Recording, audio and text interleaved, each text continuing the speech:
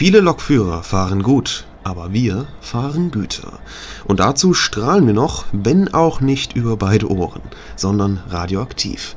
Wir haben heute den Auftrag, einen Atommülltransport aus dem Atommülllager Asse Schacht 2 in Niedersachsen bei Braunschweig zu fahren. Der Zug geht nonstop nach Kiel, so ist es jedenfalls geplant. Entlang der Strecke stehen an einigen Bahnübergängen Polizeikräfte, um potenzielle Demonstranten fernzuhalten. Achten Sie auf die radioaktive Ladung, Höchstgeschwindigkeit ist 100 km pro Stunde, PZB Zugart M. Ja, und damit recht herzlich willkommen im Train Simulator zu einer weiteren Fahrt.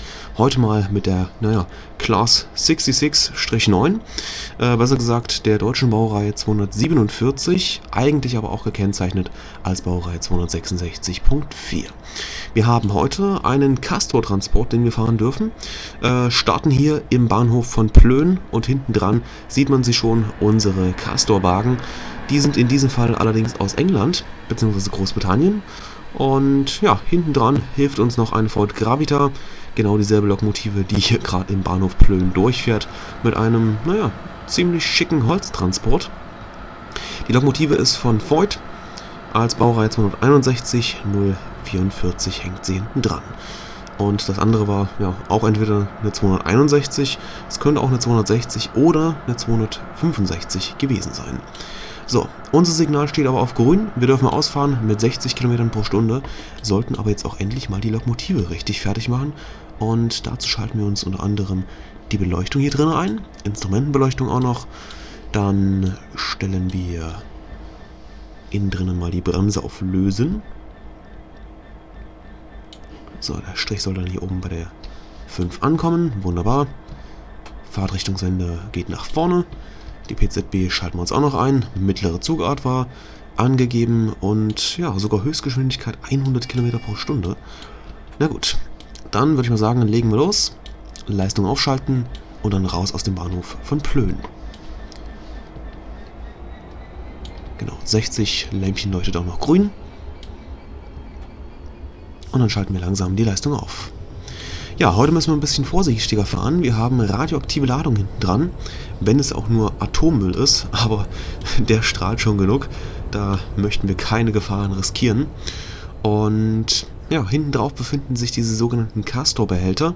Das sind in dem Fall halt wirklich ja, Behälter, die einerseits die radioaktive Strahlung voll und ganz abschirmen sollen und andererseits sind sie so konstruiert worden, dass sie möglichst großen Kräfteeinwirkungen standhalten. Dass bei einem naja, Unfall zum Beispiel halt nicht die komplette Umgebung verseucht wird. Ist ja auch wichtig. Ist ja halt Gefahrengut und naja, besondere Vorsichtsmaßnahmen sind da halt gang und gäbe.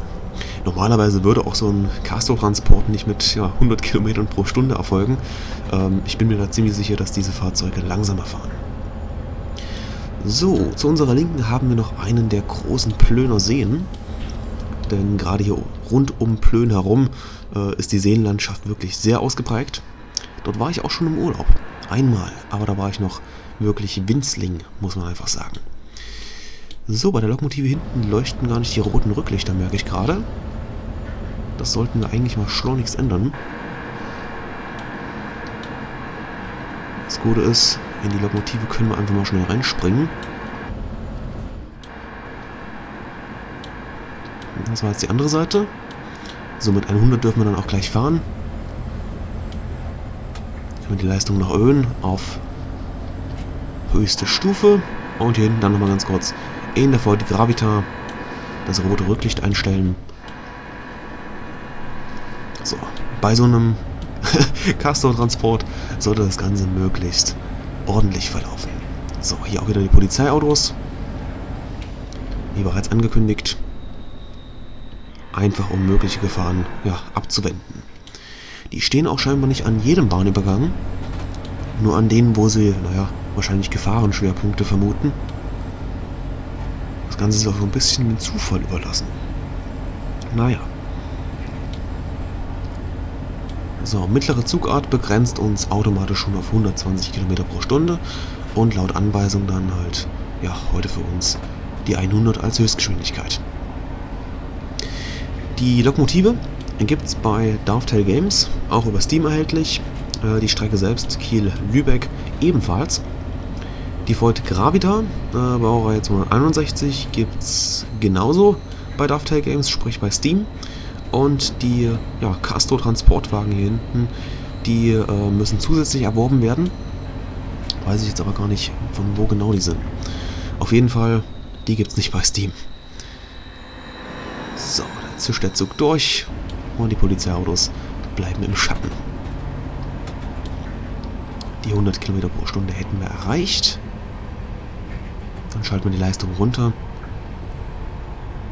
Einerseits, um hier Diesel zu sparen und andererseits, damit der Zug nicht entgleist, wenn er noch schneller wird. Und ich sehe noch was ganz Wichtiges, was ich vergessen habe. Wir stellen hier mal auf Waren um. Denn bei der Class 66 hier, besser gesagt Class 66-7, äh, auch eingereiht als Class 77, haben wir die Möglichkeit zwischen äh, Passagieren und Gütern umzustellen. Das ist immer davon abhängig, was halt hinten dran hängt. So, wir müssen auf 80 hier runterbremsen.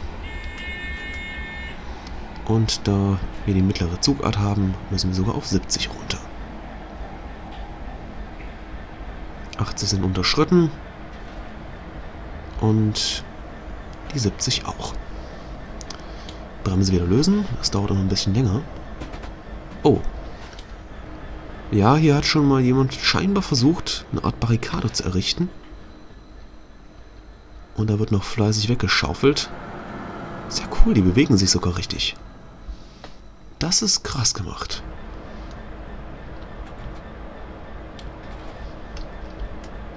So, das ZS3V wird auch nochmal bestätigt. Signal blinkt mit KS1. Und das ZS3 dann hier 80. Wunderbar. Können wir uns auch befreien. So, die PZB macht jetzt auch komischerweise gar keine Geräusche, aber naja. Hauptsache, sie drückt uns erstmal keine Zwangsbremsung rein. Ach, wir werden aufs Abstellgleis rübergeleitet. Oder aufs Umgehungsgleis. Dann hier nochmal eine 8. Das Ganze wird quittiert. 1000 Hertz ist komischerweise nicht aktiv. Und dann geht es auch hier wieder mit 80 raus.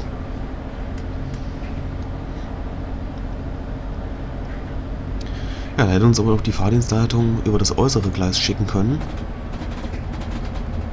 Dann hätten wir nicht den Umweg über die engen Chor oder über die engen Weichen machen müssen. Dann wären wir quasi gerade ausgeleitet worden und ja, der Gleisbogen wäre größer.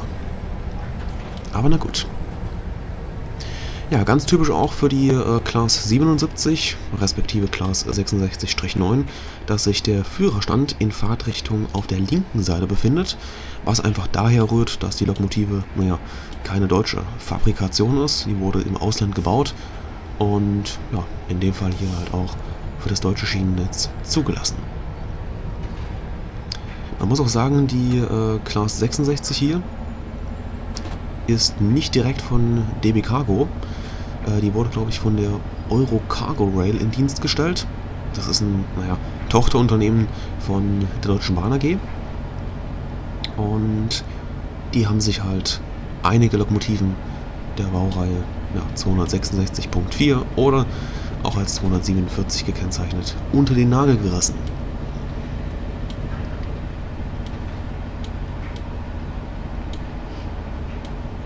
So, hier drin bestimmt auch noch alles. Wunderbar. Ja, wieso Class 77 äh, oder Class 66-9? Das Ganze rührt daher, dass die Class 66 bis, ach, bis vor einigen Jahren jedoch noch äh, ganz normal gebaut werden konnte. Da gab es keine Probleme. Da dann aber eine EU-Abgasrichtlinie oder Abgasnorm in Kraft trat, äh, mussten dort diverse Modifikationen vorgenommen werden. Äh, dadurch wurde auch unter anderem, ich glaube, die Lok um 5 Tonnen schwerer. Dann hat man einen kleineren Tank dafür eingebaut. Ähm, es sollte auch die Geräuschkulisse im Führerstand minimiert werden. Alles so, naja, Feinheiten, die halt durch diese Umbauten zustande kamen. Und dadurch ist dann letzten Endes die Class 66-9 respektive Class 77 oder halt auch in Deutschland als 266.4 oder als 247.0 bezeichnet, entstanden. Ja, so viel erstmal zur Lokomotive. Ist wie gesagt eine Großdiesellokomotive, zählt mit zu einer der stärksten Diesellokomotivserien in Deutschland. Aber nicht nur in Deutschland, auch in Großbritannien findet die Lokomotive zahlreiche Abnehmer. Besonders natürlich die Class 66 in der Ursprungsvariante. Natürlich wird es von der Lokomotive auch immer wieder Weiterentwicklungen geben. Das äh, steht ohnehin fest. Das ist einfach auch wirklich mit einer der populärsten Lokomotiven, die man ja, in ganz Europa antrifft. Aber nicht nur in Europa werden diese Lokomotiven eingesetzt. Ich glaube, ah, ich möchte jetzt nicht lügen, teilweise wurden sie auch nach Indien verkauft, aber das ist wieder eine komplett andere Eisenbahnwelt. So, hier kommt unser Zug durchgeschossen mit den Castor-Transportwagen und die Ford Gravita hinten nochmal dran.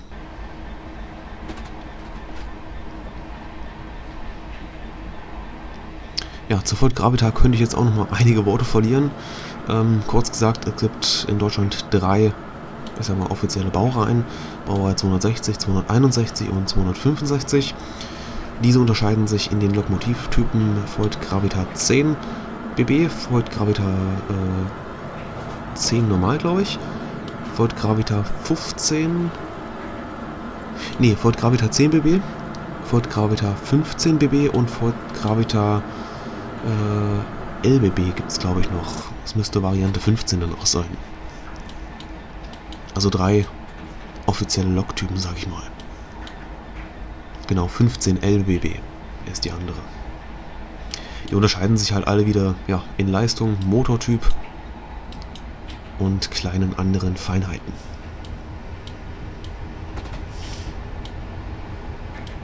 Ja, ein bisschen mehr Leistung brauchen wir schon. Das geht scheinbar gerade bergauf.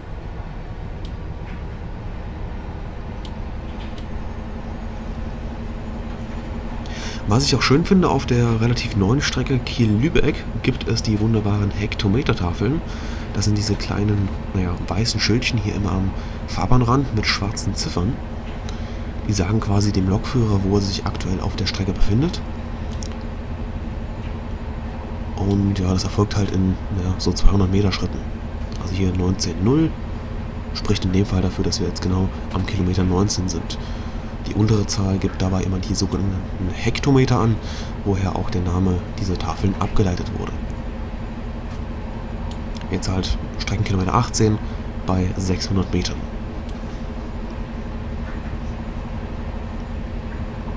Dementsprechend 400. Und so geht es halt immer weiter bis zum Ende oder zum Anfang einer Strecke.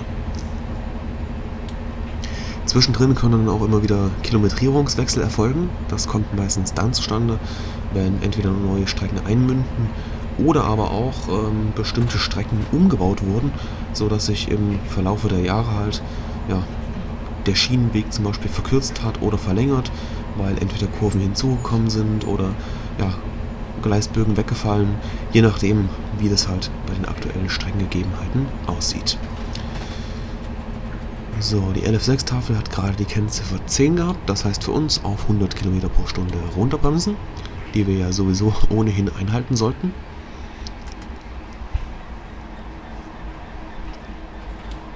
Und dann legen wir wieder Leistung dazu. Ich glaube auch die Class 66-9 hier hat so eine Art Tempomaten.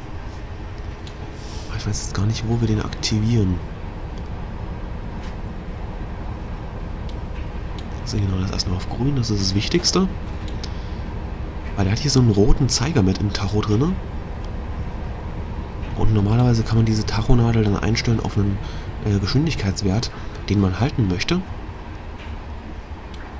Aber ich sehe jetzt hier auch gerade im Führerstand nicht die Möglichkeit, wo ich den aktivieren kann.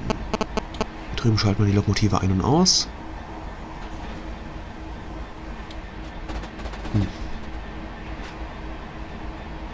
Vielleicht war das auch irgendwo hier oben. Kann sein. Ist mir jetzt nicht genau bekannt. So, was haben wir denn hier vorne dran? Eine Volt Gravita wieder? Nein, sogar zwei Stück. 261057-4.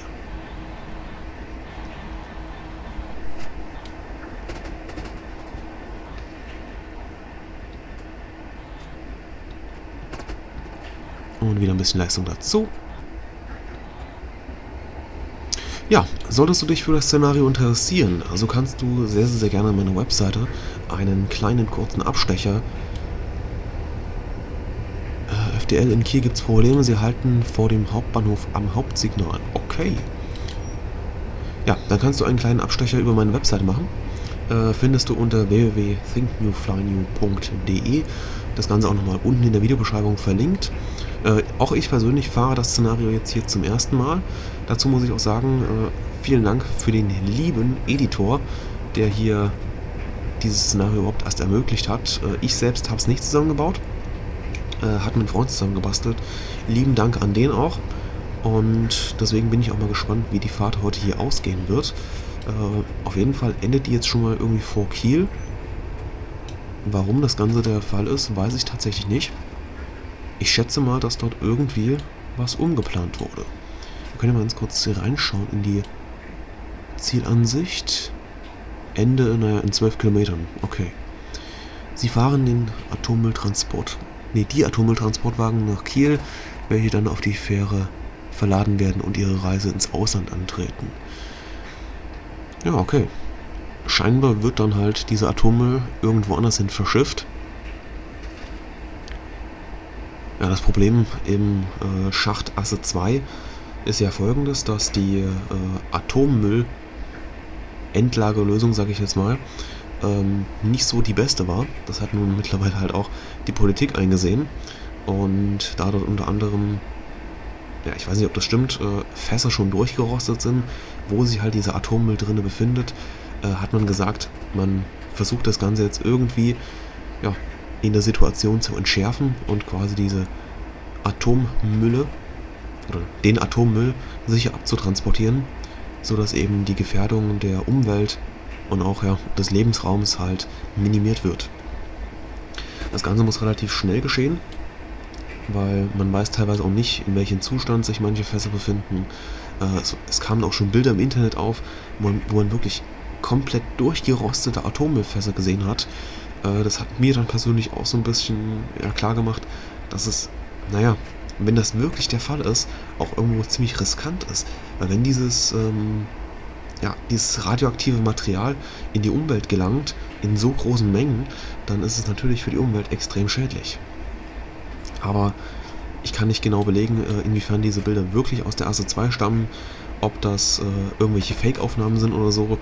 Ich habe keine Ahnung, ich war nicht da unten, deswegen an der Stelle hier auch äh, ja, keine Meinung zum Thema Atommüll. Ähm, ich finde das Ganze relativ interessant, gerade auch hier für so ein Szenario und ich bin mal gespannt, wie diese ganze Fahrt hier heute verläuft. Kannst du auch sehr gerne mal deine Meinung unter das Video drunter posten und zu sinnvollen Diskussionen anregen. Was haben wir denn hier? Die Lindtriebwagen, wenn ich es richtig sehe. 648 wahrscheinlich. Nach Lübeck in dem Fall. Genau, 648. Ja, bei den Lind-Triebwagen gibt es auch die unterschiedlichsten Versionen. Wobei die Abkürzung Lind für leichter innovativer Nahverkehrstriebwagen steht. Ich glaube, einmal gibt es sie als Lind 41 und noch bei irgendeiner anderen Zahl. Auf jeden Fall ähm, existieren die als Triebwagen mit Knickgelenk und als, naja, durchgängige Triebwagen mit zwei Achsen, äh, mit zwei Drehgestellen, sorry, vier Achsen.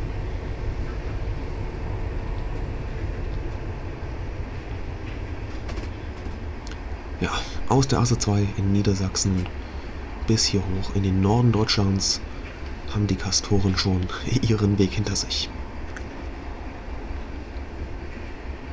So, hier ist ein Gleisanschluss, der aber schon ziemlich verwittert aussieht. Also wie gesagt, nochmal ganz kurz die Informationen. Das ist hier wirklich ziemlich fiktiv, dass wir mit bis zu 100 Kilometern pro Stunde einfach so über diese Strecke hier donnern. Gerade bei so einem Castor-Transport. Also ich bin mir ziemlich sicher, dass das langsamer vonstatten geht. Aber es ist ganz cool, gerade für einen Train-Simulator. Da können wir unsere Fantasie freien Lauf lassen.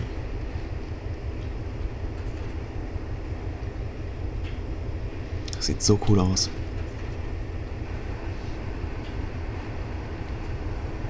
Die Worte herrlich und schön würde ich jetzt in dem Zusammenhang mit einem Castor-Transport mal nicht unbedingt verwenden, auch wenn es wirklich ein interessantes Bild hier ist. Aber mich würde mal interessieren, wo diese Atommülle oder wo der Atommüll dann hin verschifft werden soll. Weil weg von der Erde kommt er ja damit scheinbar auch nicht.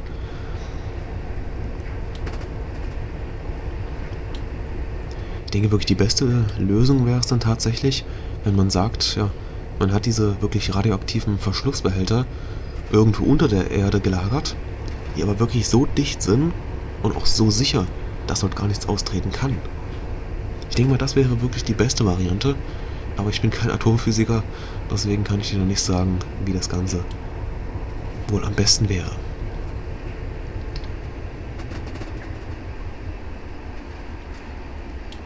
Auf jeden Fall hat das, ich glaube, Bundesamt für Strahlenschutz, so müssten die heißen, ähm, schon einige Messungen in der Asse 2 gemacht, im Schacht. Und es wurde halt festgestellt, dass eine, ja, dass die Endlösung, so wie sie dort durchgeführt wird, ähm, nicht in einen erstrebenswerten Plan umgewandelt werden kann. Das müsste die Crossrail äh, 266 sein. Jo. Aber soweit ich weiß, fährt die nicht mehr in dem Farbkleid rum.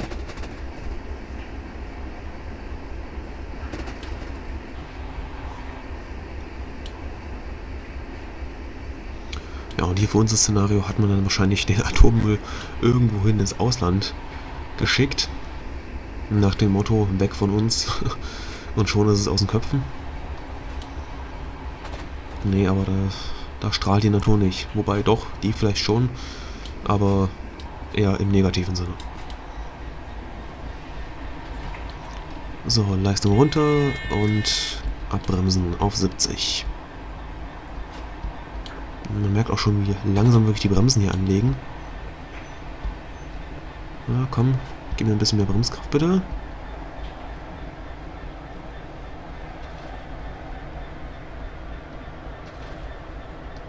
Ja, ja, ja, ja, komm, lösen, lösen. Aber lieber etwas zu weit runtergebremst als zu wenig. Okay, 1000 Hertz ist auch wieder ausgegangen. Die 70 behalten wir bei. Und dann wieder langsam Leistung aufschalten. Nochmal ganz kurz hier nach vorne fliegen. Haben die das Polizeiauto einfach hier hingestellt. Okay.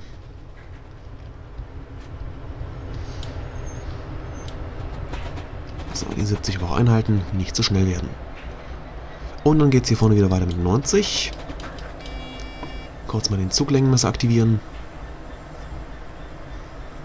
Dann ist sie auch gar nicht mehr so weit. Ah, da vorne leuchtet schon Ende. Okay. Dann müssen wir abbremsen. Oh, ja. Das heißt, auf uns halt erwarten.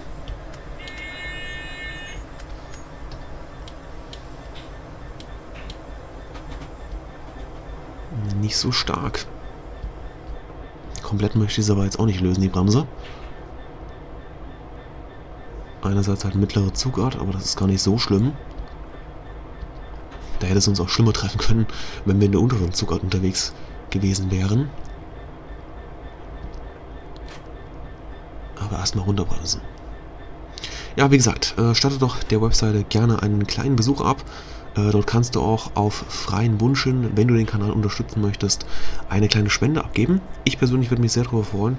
Einfach als, naja, ich sag mal, kleines Honorar für meine Bemühungen. Und ja, wenn es dir gefallen hat, natürlich für das Video ein Däumchen nach oben, Kanal abonnieren, wenn du weitere Videos aus dem Train Simulator sehen möchtest. Und bei mir gibt es grundsätzlich jeden äh, dritten Tag äh, um 14 Uhr ein neues Video. Also wenn du interessiert bist an Eisenbahnvideos, dann bist du bei mir auf jeden Fall an der richtigen Stelle. So, komischerweise ist jetzt der 500 Hertz Gleismagnet gar nicht angesprungen, obwohl das Signal vorne auf Rot steht. Aber na gut. Auf jeden Fall müssen wir hier anhalten. Und direkt rechts neben uns sitzt wahrscheinlich auch gerade die Fahrdienstleitung. Kiel Hauptbahnhof. K.O. ja, K.O. sind wir wirklich. Gut, ich bedanke mich für deine Aufmerksamkeit. Allseits gute Fahrt, deine Think New Fly New. Und bis zum nächsten Mal.